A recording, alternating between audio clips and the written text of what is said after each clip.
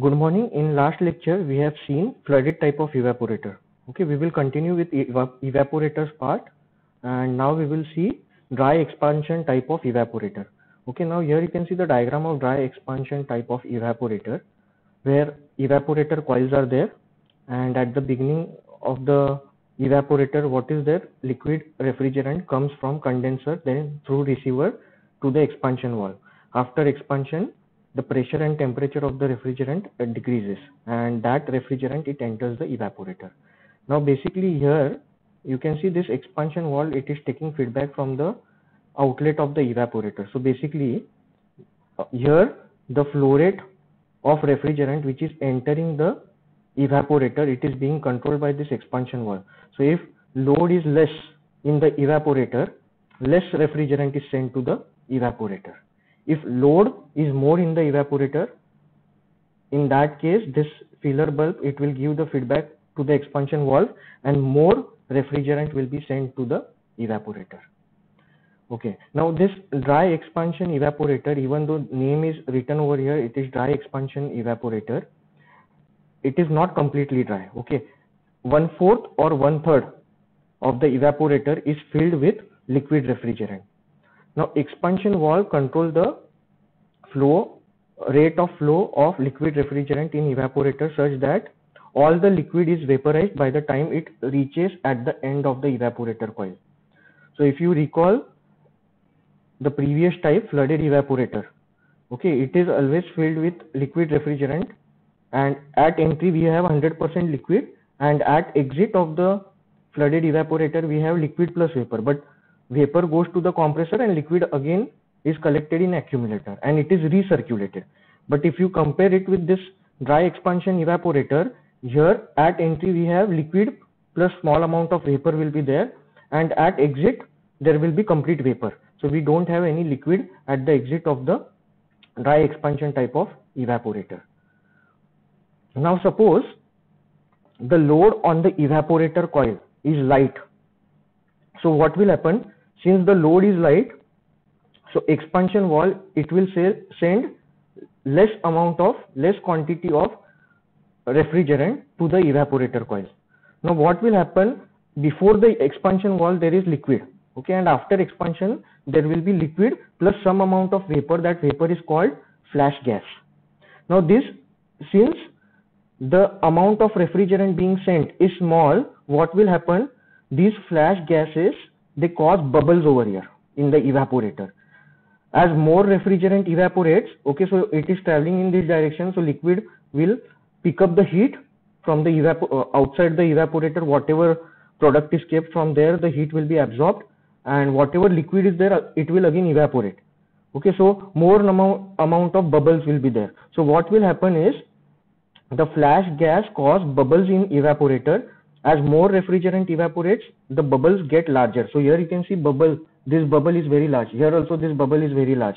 So because of this what will happen?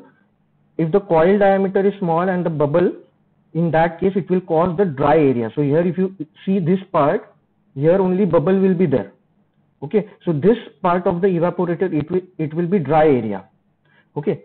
So if evaporator coil diameter is small the bubbles cause dry areas on the interior walls of coils which reduces the rate of heat transfer. So if bubble is formed, uh, definitely this much part of the evaporator will not be much effective because it will not be able to pick up the heat. There is no liquid present over there.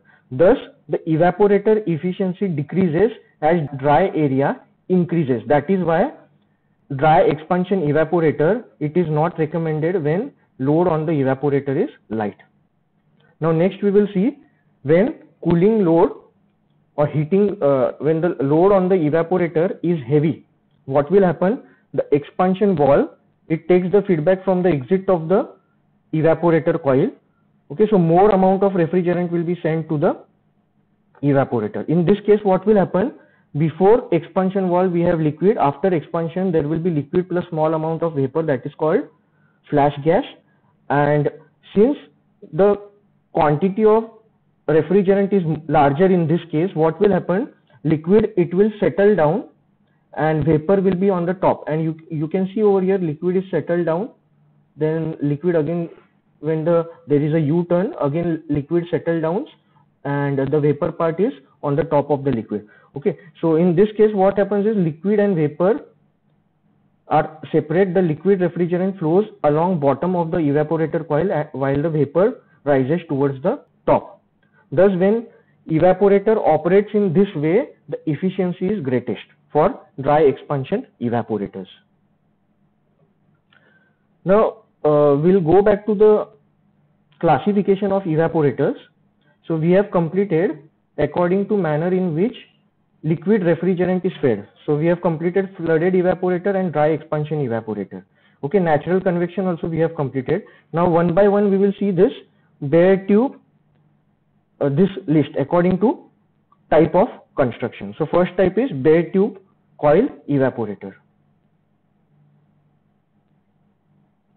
Okay, bare tube coil evaporator. Here you can see the construction. It is uh, simply a, a, evaporator tube is there, and uh, before the evaporator tube, there will be expansion valve. So liquid enters the expansion valve.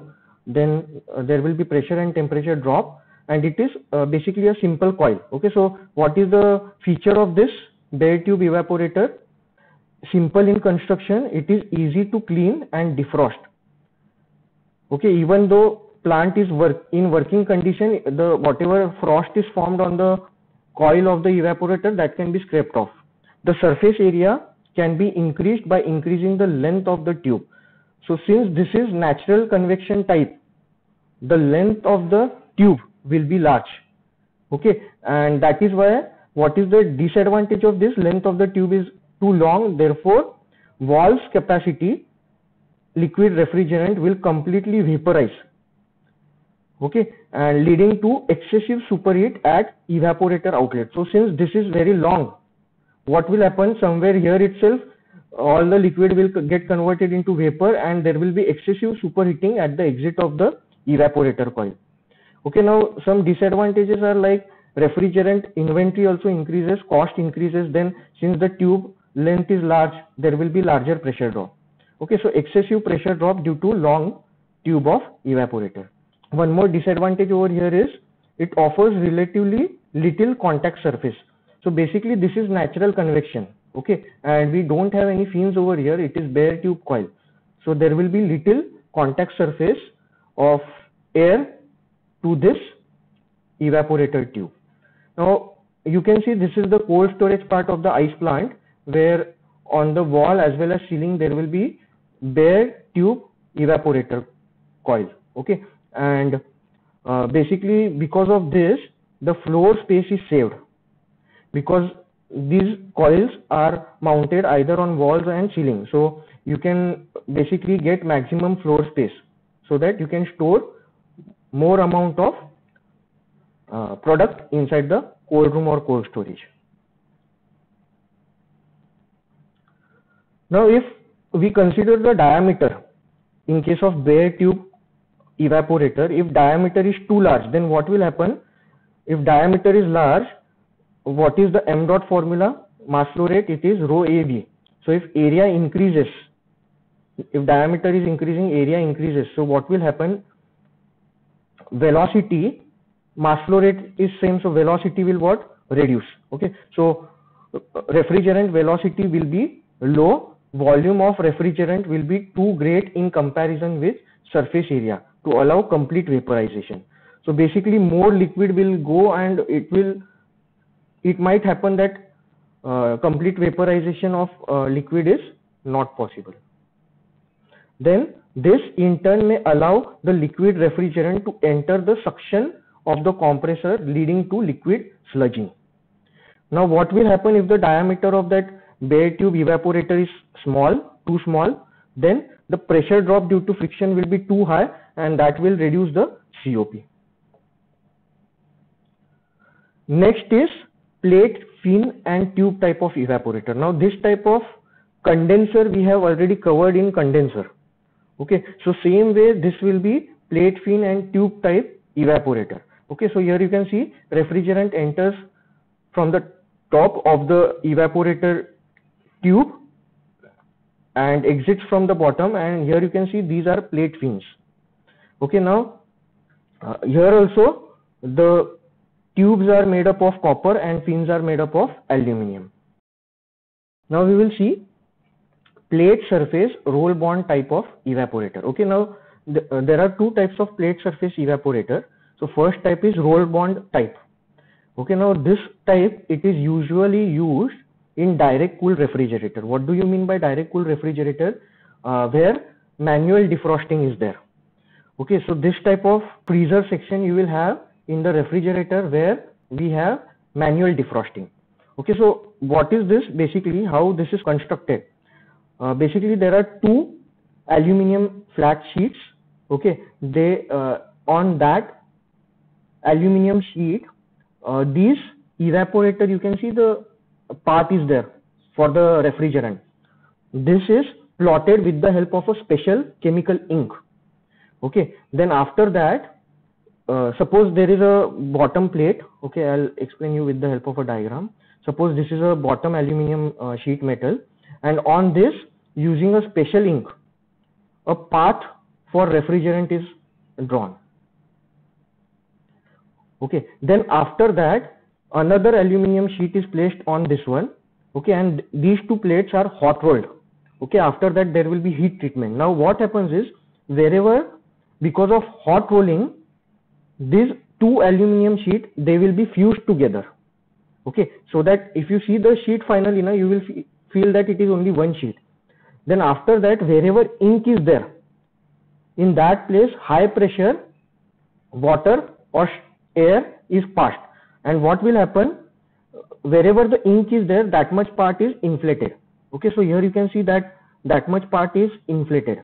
And then you can see here I have shown the inlet and outlet as well. So inlet and outlet for these these connectors are joined. Okay so in this way this plate surface roll bond type of evaporator is manufactured we will see a video also on this one manufacturing part so here if you take the cross section, you can see the cross section over here. Okay, this will be the cross section and inside this, this is not the tube huh, exactly. It is just a passage of refrigerant. Okay, here you can clearly see this is not a tube. Basically, there are two aluminum sheet in between we have formed a passage. Okay, so in this passage, if you take a section over here, it will look like this and in this passage refrigerant will flow.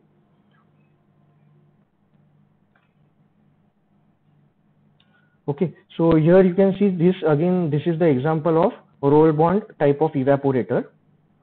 And initially when they are manufactured, basically they are like this straight, then they are bent in this box shape. Okay, and then they are fitted in the freezer compartment. So we'll see a small video on this manufacturing. Now two strips are unrolled and being straightened. Okay so here you can see this is one sheet this is second sheet. Top side one sheet bottom side second sheet aluminum sheet. This is serigraphy where ink is being deposited according to the uh, path of the refrigerant. So that path is being drawn with the help of special ink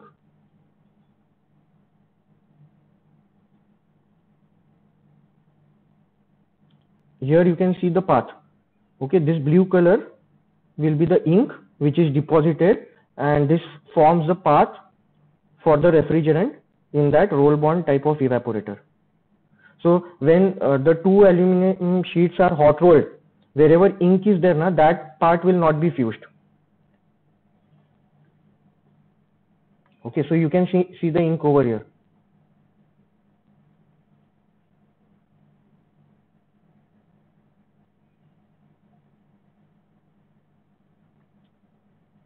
now it is preheated. Two strips are preheated in the furnace. Then they are hot rolled. Okay after heating they are rolled. Here you can see roller is there. So both the sheets will fuse together After that, there will be heat treatment.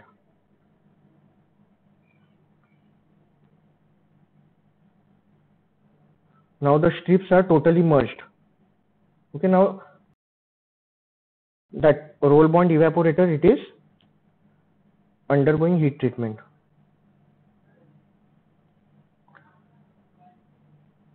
okay then water cooling is done here you can see water is there so water cooling is done. Then it is continuous strip right? So it is cut at the appropriate location. And with the help of robots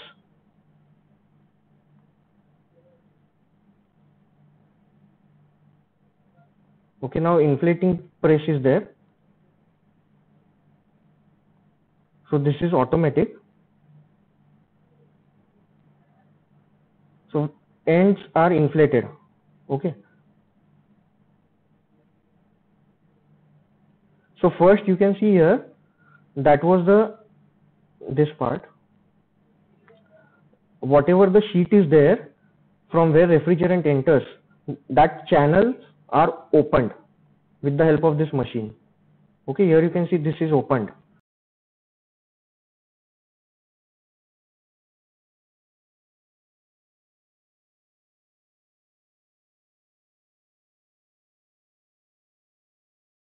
okay so high pressure air is sent for inflation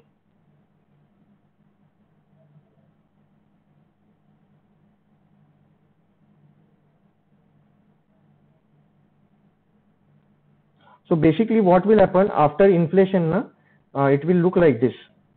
Okay, then uh, these uh, tubes are connected to this roll bond evaporator and then it is uh, bent into this box shape.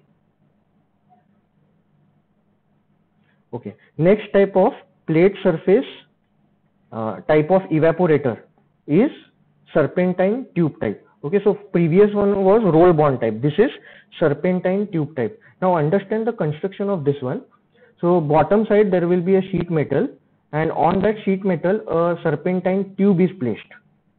Okay and on this tube one more sheet metal is placed. So basically you can see if uh, a section is taken over here section AA. So this part this part is the top sheet metal. This part is the bottom sheet metal. And here you can see these are serpentine tubes. Okay now what happens is all the four ends they are welded together. Okay so just uh, the edges of the plates are welded together. And the space so there will be definitely some space uh, between the plates and the tube okay that space is either evacuated or it is filled with eutectic solution now what is this eutectic solution it is a solution which has good thermal contact. So basically, if it is evacuated, there will be some resistance because there will not be a proper contact between uh, the sheet metal and the tubes. But when eutectic solution is filled inside the uh, sheet metal part, so that will reduce the contact resistance. Okay, so there will be good thermal contact and this eutectic solution, na, it they provide additional thermal storage capacity. Therefore, these evaporators are commonly used in refrigerated trucks. Okay, now what happens is, uh, this what is this eutectic solution? Solution which has low freezing point. Okay, so what happens is, for example, if you take the example of this refrigerated truck, okay, inside the truck there will be this plate surface serpentine type tube type of evaporator. Okay and there will be a ground based refrigeration system. So ground based refrigeration system it will pick up the heat it will chill this evaporator.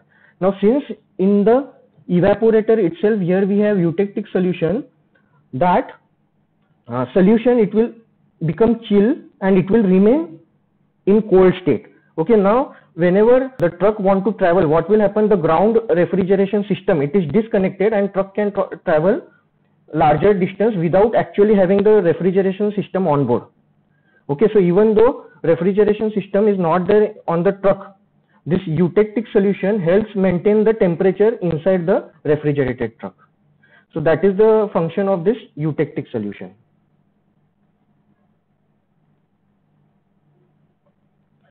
okay next type of evaporator it is called plate type evaporator okay now uh, don't get confused uh, this is plate surface and in plate surface we have two types plate surface roll bond and second one is plate surface serpentine tube.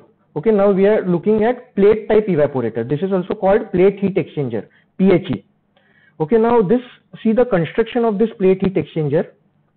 Here this is a fixed frame on this side. And at the back side you can see here we have movable frame. And in between you can see plates are there. That is why this is called plate heat exchanger PHE okay now uh, this is the plate. Okay you can see the construction of the plate. And you, if you see that there there is a particular path for refrigerant. Okay and uh, this part black color part if you see this is the gasket. So basically if you see if refrigerant enters from the top it cannot enter this left hole. Why? Because here gasket is there. So it will have to follow the this downward path. And again if you see this hole refrigerant cannot enter over here because there gasket is there. So refrigerant will exit from here only. So basically these plates what happens is if you see this blue color path so for example this blue color path is refrigerant. So refrigerant enters from the bottom. Okay it will move in this direction and from here it will change the path and again it will move in this direction and come out. And in between also this part is diverted. Okay so here you can see this blue refrigerant. This blue refrigerant enters over here. Then from here you can see part of the refrigerant it is diverted in this direction. Okay and from here it will move towards right. Again some refrigerant it moves in this direction part of the refrigerant will travel along this plate and then again return in this direction. Then again some refrigerant it will travel in this direction and it is continuously moving in upward alternate. Okay? And here you can see it again returns. Now if you see the red color part okay suppose this is water. In evaporator suppose refrigerant is used to chill water. So this blue color path i have shown of refrigerant. Now we will see water path water will enter from top okay now alternate arrangement is there. Water it will flow in downward direction over here. Okay and from here it will exit like this. Some water it will go in this direction and it will follow this downward path and again it will come out in this direction. Same way this happens and finally from here also the water exits. So basically if you see on one side of the plate one fluid is there and other side of the plate other fluid is there. So on one plate itself there will be on one side suppose refrigerant is in contact on the second side the product to be chilled suppose water is there that will be in contact. Okay or milk is there that will be in contact. Okay so plates are uh, arranged over here and basically alternate fluid is in contact with the surface of the plate. So in first you can see if here water is there then in between the second plate and first plate a refrigerant will be there. Then in between second plate and third plate water will be there and so on. Okay now here you can see on the top we have a top bar. So basically what can be done is uh, this complete arrangement it is held together by this bolt and nut arrangement. Okay so we can remove this uh, bolt and nut arrangement. We can move this movable frame. Uh, it it can easily slide in this top bar and we can actually remove these plates. Okay so we can remove the plates we can maintain them clean them and again attach. Okay or if you want to increase the capacity of this evaporator you can even add additional plates in this setup. If you want to reduce the capacity you can remove the plates from the setup. So that is why this plate heat exchanger it is very flexible. You can increase its capacity you can decrease it its capacity by adding the plate or removing the plate. Okay now this type of plate heat exchanger which we have discussed over here it is gasket plate heat exchanger. Okay now there are again different types of plate heat uh, plate heat exchanger. Gasket is there then second is brazed type. Okay so here you can see in the next diagram okay next images these are the plates. Okay and here you can see that movable frame it has been moved so that uh, the maintenance or we can increase the uh, plate okay and here you can see this is the rod and here uh, this is the bolt and you, here you can see nut is there so this arrangement is there and again there are see uh, different types of plate heat exchanger if you observe this type all the four holes are only on one side. Okay. If you see the fixed frame, inlet of refrigerant is from bottom and exit is from top. Inlet of water is from top and uh, outlet of water is from bottom. So basically inlet outlet is on only one frame, fixed frame. Okay. So this is one type and same type is shown over here. You can see this, this on fixed frame. All the four holes are there okay and if you see these plates they are alternating direction. So here one side of the plate it is in this direction okay? And other side of the plate if you see it the direction will be like this. Because in one direction fluid flows from top to bottom and on other side of the plate the fluid flows from bottom to top okay? So this plate will have different type of arrangement. Single plate will have one type of arrangement uh, one type of this pattern. And on the other side of the same plate there will be some other pattern okay so you see this plate on right side this is the fluid can move in downward direction but on left side uh, the pattern will be like this and fluid can move in upward direction. It will be like that. Okay now as discussed before there can be different arrangements. So we have seen this type of arrangement before. Okay on fixed frame itself we have four holes. So basically what is this arrangement? This is fixed, fixed frame, front one, and this is movable and refrigerant, suppose uh, this is one fluid entering, it is diverted, okay, and this gray color are the plates. Okay, so alternative you can see fluids are flowing. Okay, so here blue fluid is there, then uh, next there is red fluid, then again blue fluid, then red, again blue. Okay, and all the four inlet as well as outlet, they are there on fixed frame okay on the front side okay this is one type of arrangement second type of arrangement two holes will be on one side and two holes will be on other side. Okay so suppose uh, this is the entry of refrigerant. So refrigerant will flow in this way and it will exit from the other side. And suppose other fluid it is entering from this side it is diverted in this direction as well and it will exit from the right side. Okay so basically we can have arrangement like this all the four holes inlet as well as outlet of both the fluids are on fixed frame. And second design in this design the two holes are on, there on one side and two holes are there on other side. But this is the design which is mostly used everywhere because this with the help of this design you can easily dismantle this.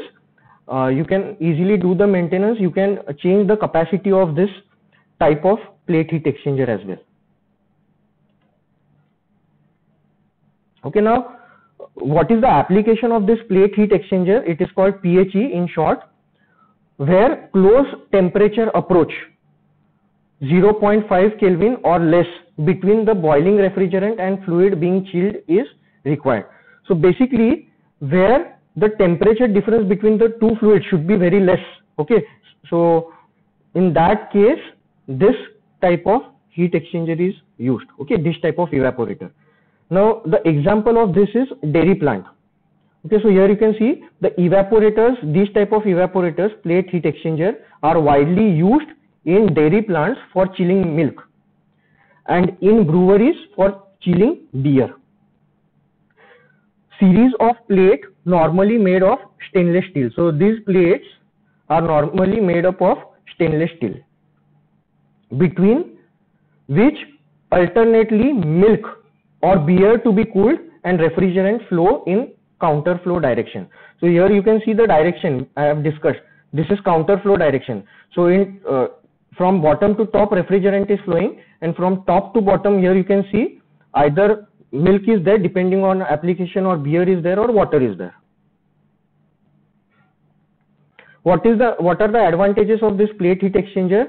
very less refrigerant inventory is there. It is very easy to clean the evaporator and assemble it back and the capacity can be increased or decreased very easily by adding or removing the plates. Okay. Now these plates are called chevron plates.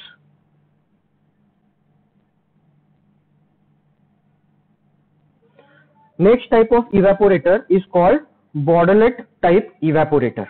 So we'll see the construction of this evaporator first.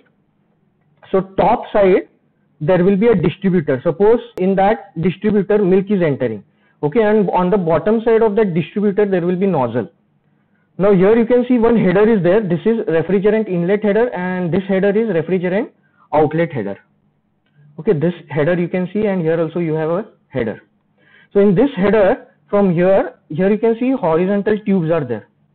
So refrigerant is distributed in these tubes from the header, whereas the whatever the product which, which has to be chilled, it flows over the refrigerant tubes. Okay, so refrigerant tube is there and on the refrigerant tube that, that milk will flow, it will become chill and it will be, the milk will be collected in the tray below. Okay, so from here there is milk inlet and here you can see all the collected milk in this bottom tray, it is taken out. Okay, so here you can see the 3D diagram of that one. Here the application is uh, milk and here the application is chilling the water. Okay, so here you can see on the top side distributor is there and uh, these are the evaporator uh, plates and uh, the tubes are there and whatever water is there it flows over this tubes. Okay? And the chilled water it is collected on the bottom side and then it is taken to the application wherever the chilled uh, water is required so this is about Baudelot type of evaporator. We will see in brief the theory part of this one. This type of evaporator consists of large number of horizontal pipes stacked one on top of other connected to by headers to make single or, or multiple circuits. So we saw the header arrangement. The refrigerant is circulated inside the tube either in flooded or dry mode. The liquid to be chilled flows in thin layer over the outer surface of the tubes. The liquid flows down by gravity. So liquid will flow down because of the gravity from distributor pipe located on the top. The liquid to be chilled is open to atmosphere. So this is the very important point which you, you should remember over here. That is, it is at atmospheric pressure and its aeration may take place during cooling. Now what are the applications of this Baudelot type of evaporator? This is widely used for cooling milk wine and for chilling water for carbonation in bottling plants. What are the advantages of this type? The liquid can be chilled very close to its freezing temperature. Since freezing outside the tube will not damage the tubes. Okay, so uh, whatever the water is there, it is flowing outside the tube. Okay, so even though the, so what we can do is we can cool the water close to its freezing point. Okay? So that is the advantage of this Baudelot type of evaporator. Then another advantage is the refrigerant circuit can be split into several parts which permit a part of cooling done by cold water and then chilling by refrigerant. Next type of evaporator is shell and tube type of evaporator. Now this shell and tube type of evaporator we have discussed in detail. In condensers usually uh, you will find this shell and tube heat exchanger handbook is there TEMA okay tubular exchange manufacturer association where different designs of heat uh, shell and tube heat exchanger is given. So here you can see outer one is shell and inside there are tubes okay and here you can see baffles are there. So basically if water is entering from here the water is diverted in this direction like this so that all the water comes in contact with all the tubes. Okay and inside the tube suppose refrigerant is there.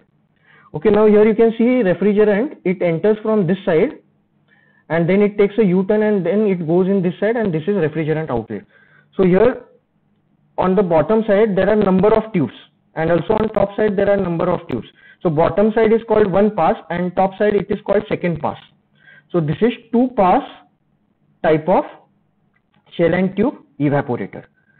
Now this shell and tube evaporator, it can operate in both the configurations, flooded type as well as dry expansion type. Now in flooded type of shell and tube evaporator, okay, refrigerant, it flows inside the shell. A liquid will enter over here and the exit will be liquid plus vapor of refrigerant. Whereas here you can see the fluid being cooled, it can be either water or brine okay that will enter in the heat exchanger it will flow through tubes so this is about flooded type of shell and tube evaporator. Now, if you see the dry expansion type of shell and tube evaporator, okay, in this type, refrigerant flows inside the tube, okay, and water, it flows inside the shell. Okay, so this is the difference between flooded type and dry expansion type of shell and tube evaporator. Okay. Next, if you consider ammonia, in case of ammonia, we cannot use copper tubing. Okay, so these tubes are there. We cannot use copper tube in case of ammonia because ammonia re reacts with copper. So that is why when ammonia is used as refrigerant, steel tubes are used and when freon is used, copper tubes are used. Okay, now in case of freon, usually uh, these tubes, na, they have integral fins as well. Okay? So along with these tubes inside the shell and tube uh, evaporator this tube will have fin as well. Because freon has small heat transfer coefficient and ammonia has large heat transfer coefficient. So in case of ammonia we don't require fins on these tubes okay? But in case of uh, freons okay? If freon is being used in this shell and tube type of evaporator we require integral fins as well. Okay, now in dry expansion type of shell and tube evaporator, in this case, okay, in this case, fins are inside the tube. Okay, so tube is there and inside the tube there will be fin. Okay, and in case of flooded type, why? Because refrigerant is flowing where? Inside the tube. That is why uh, the fins are there inside the tube. Okay, so wherever refrigerant is in contact, there the fins will be there. Okay, and in flooded type, refrigerant flows inside the shell okay so refrigerant is in contact with outer part of the tube that is why the fins will be there on the outer surface of the tubes okay but this will be for applicable for which refrigerant freon where h value is small okay so dry expansion type configuration is different and for flooded type configuration is different.